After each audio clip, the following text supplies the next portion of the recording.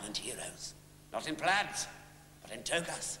And I distanced them so far back in time that they became an island heritage for all northern Europe to pit against the Mediterranean south. My Hebrides would be the new Aegean. My island heroes, a nobler pantheon of gods to Greece. Ossian would be my Homer. Athens, the Edinburgh of the south. The release of this needs careful management. When the works of Ossian were published in edition after edition, no one would believe it was me. Not that I wanted them to. Well, maybe sometimes. It was all the reward of a few holiday months spent in the Western Islands.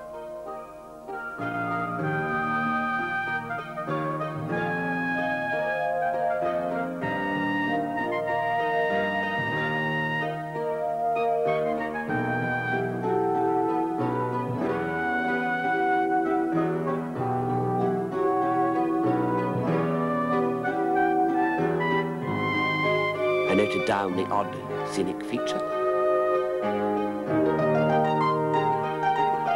Copied out a few fireside songs. The name of a Highland dog for an exotic Celtic chief or two. The results outstripped even my wildest dream.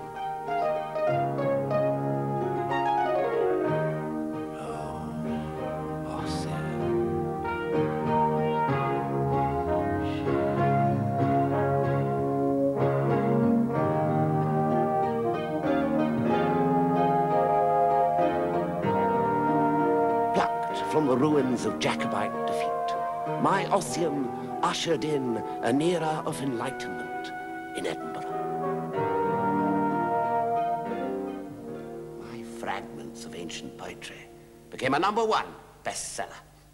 Publishers fought for foreign translation rights. Uh, Mr. Macpherson, uh, might a sequel not be found to cap success?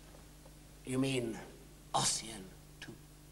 We wonder if with pony, pen, and paper, you might not discover more tales of these brave Fingalians. What is it you propose? Here we have resolved uh, to put the Reverend James Macpherson on the way to procuring us more of these wild Highland flowers. Slantifa. Sorry? Cheers. Of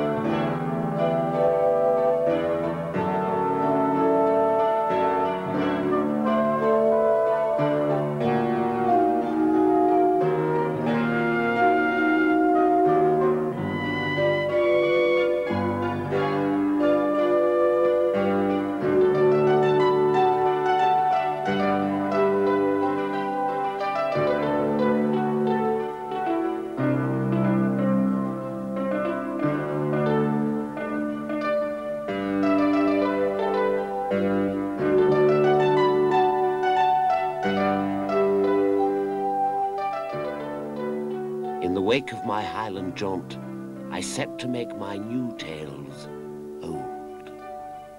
With copious snuff, I fudged back the centuries by the hour.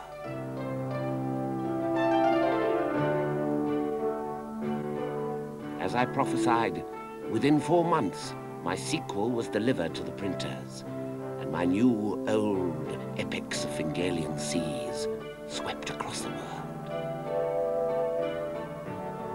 But if the fame of James Macpherson, or rather the fame of Ossian, had won the hearts of America and the continent, only grudges smouldered in the coffee houses and bookshops of London. Dr. Johnson behaved quite beastly. He demanded to see my original texts. An embarrassing request, this.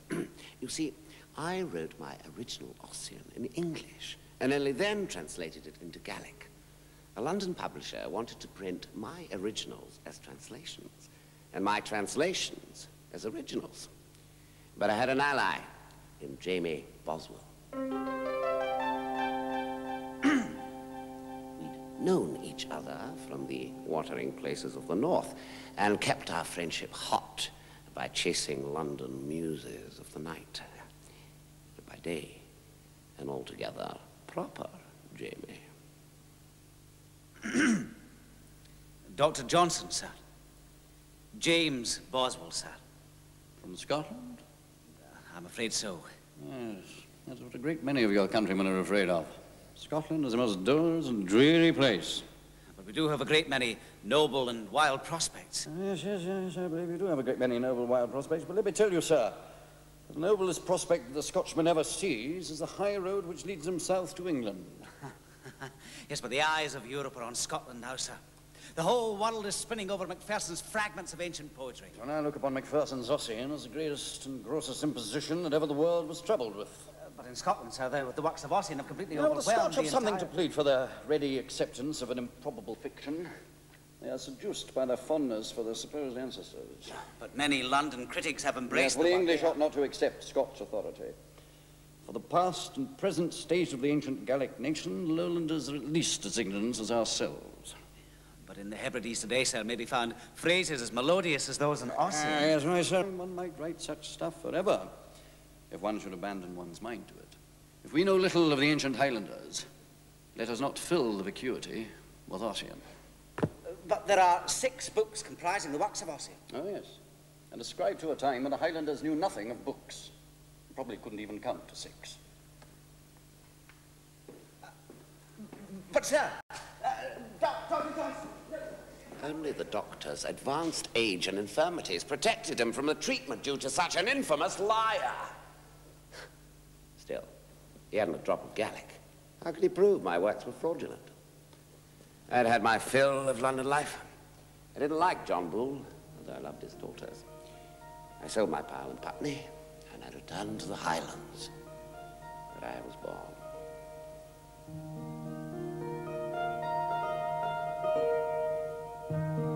There I had Adam, Rab the Roman, build me one of his most up-to-date, new, old, fashionably ancient villas in the modern, old, classic style.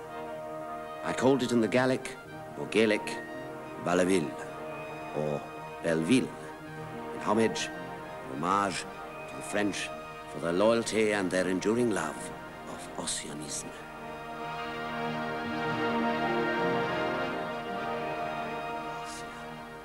Ossia, c'est moi, c'est me, the mortal thread that wove the cloak of Ossian's fame, the garb of ancient Gaul and Caledonia old, a classic style to found a nation, but reversible and high romantic. A kilt was once a tartan toga. Oh, my honored bard. Yet I, still barred from honor, die.